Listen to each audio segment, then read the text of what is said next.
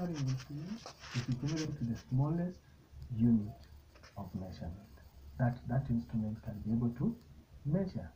So quickly you can be able to uh, check with your uh, mathematical set, take out one of the measuring instruments, for example, the protractor, and work out the accuracy of the protractor.